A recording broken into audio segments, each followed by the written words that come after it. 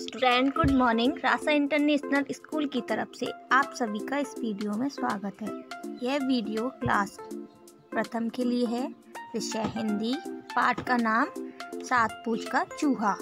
पाठ तेईस, पृष्ठ संख्या 115 से 119 बच्चों, अब हम पेज नंबर 115 ओपन करेंगे और मैं आपको एक कहानी सुनाऊँगी सात पूछ के चूहे की। तो चलिए स्टार्ट करते हैं।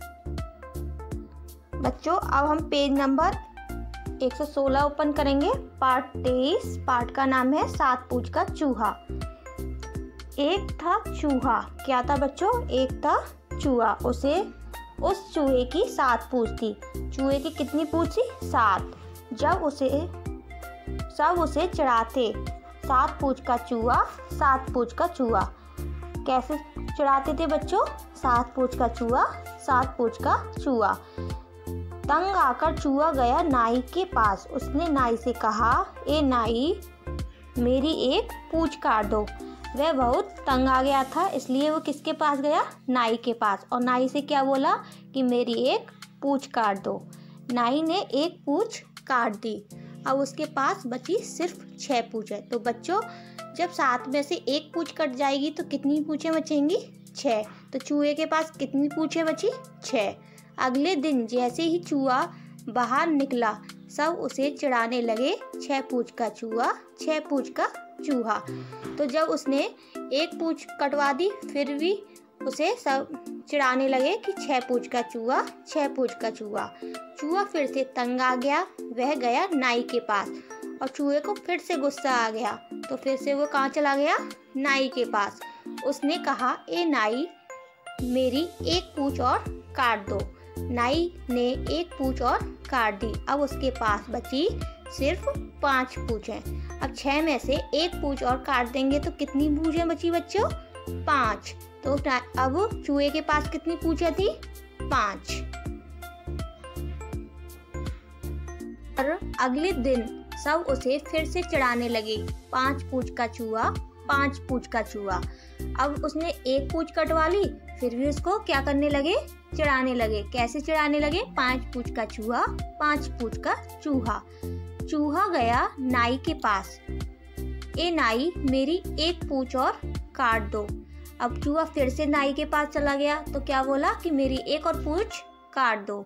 नाई ने एक पूछ और काट दी। अब उसके पास बची सिर्फ़ चार पूछ है। तो बच्चों, पाँच में से एक और काट देंगे तो कितनी बचेंगी? चार। तो चूहे के पास कितनी पूछे बची? चार। पर सब उसे फिर से चिढ़ाने लगे। चार पूछ का चूहा, चार पूछ का चूहा। अब उसे फिर अगले दिन चढ़ाने लगे थे। कैसे चढ़ाने लगे थे? चार पूछ का चूहा, चार पूछ का चूहा। चूहा गया नाई के पास। अब नाई, अब चूहे को फिर से गुस्सा आ गया। फिर वह नाई के पास चला गया। नाई ने एक पूछ और काट दी। अब उसके पास बची सिर्फ़ तीन पूछे अब चार में से एक पूछ और कट गई। तो कितनी पूछे बची बच्चों? चूहे के पास तीन। पर उस, पर सब उसे चिढ़ाते, तीन पूछ का चूहा, तीन पूछ का चूहा।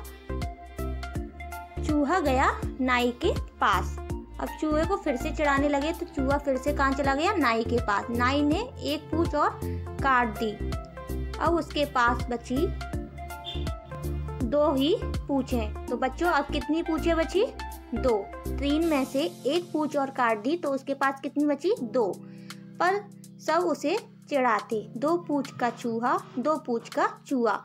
अब पूछ कटवा दी, फिर भी उसके उसको चढ़ाते रहे कि दो पूछ का चूहा, दो पूछ का चूहा। तो चूहा गया नाई के पास। अब चूहे को फिर से गुस्सा आ गई। अब कोई चीज़ बार बार चढ़ाते हैं तो गुस्सा आ जाती है ना तो ऐसे चूहे को भी गुस्सा आ गई। तो नाई के, नाई ने एक, नाई के पास गया और नाई ने उसकी क्या कर दिया? एक पूछ और काट दी। अब वह एक पूछ का चूहा हो गया। अब दो में से एक काट देंगे तो क्या बचेगा? एक एक ही तो बचेगी? तो क्या बोला? एक पूछ का चूहा, पर सब उसे चढ़ाते एक पूछ का चूहा, एक पूछ का चूहा। तो चूहा गया नाई के पास। नाई ने आखिर, आखिरी पूछ भी काट दी। अब पूछ ही नहीं बची। अब उसने सारी पूछें कटवा दी नाई से। लेकिन फिर भी सब चूहे को चढ़ाते रहे। बिना पूछ का चूहा, बिना चू पूछ का चूहा। और जब उसने, अब उसने गुस्से में सारी पूछ कटवा दी। तो फिर भी उसे चिढ़ाने लगे सभी लोग। तो क्या बोले? बिना पूछ का चूहा, बिना पूछ का चूहा। तो बच्चों, इस कहानी से हमें यह शिक्षा मिलती है कि हमें किस चढ़ना नहीं चाहिए। ओके बच्चों? और आपको यह पाठ घर पे पढ़ना है ध्यान से। आशा करती हूँ कि आपको यह वीडियो अच्छी लगे। धन्यवाद।